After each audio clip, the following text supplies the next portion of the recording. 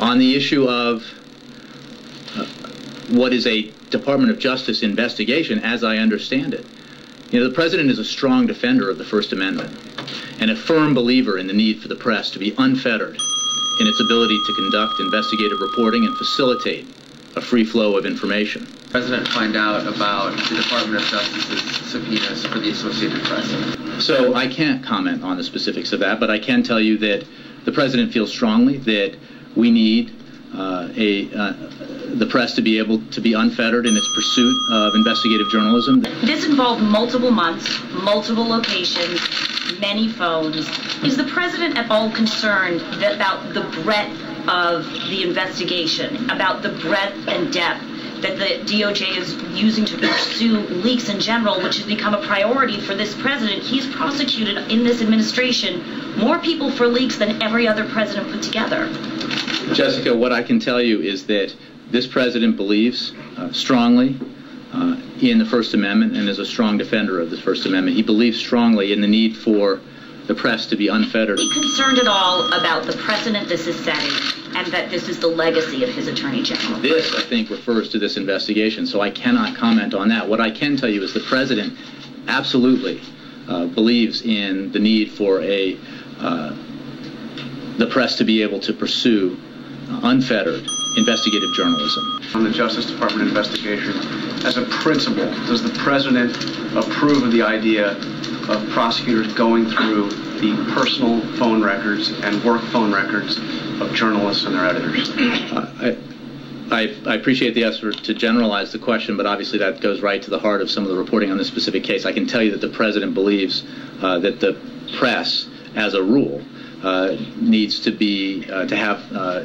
an unfettered ability to pursue investigative. On your phone records. Well, again, I can't. I can't.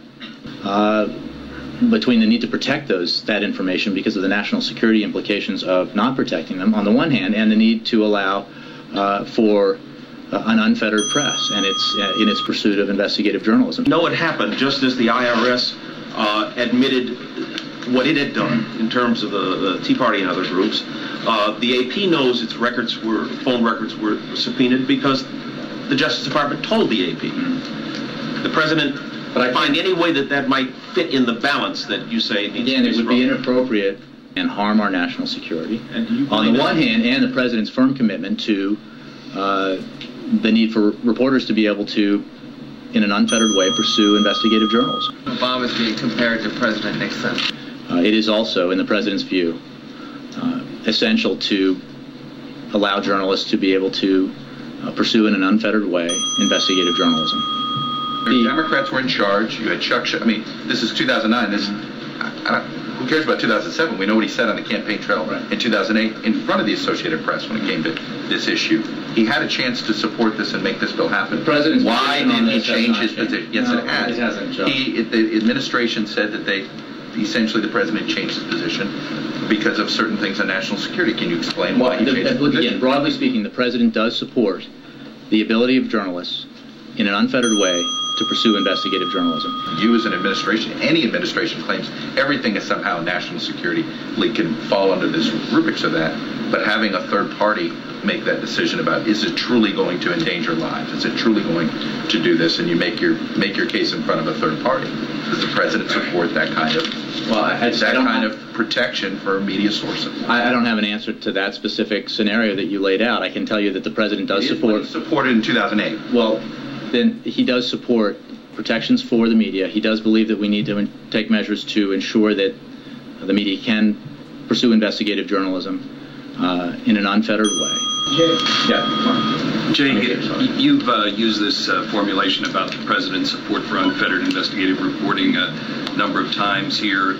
Um, to what extent is he, is the uh, former constitutional law professor in the Oval Office, uh, torn between that philosophy and the case for, uh, you know, going after leaks?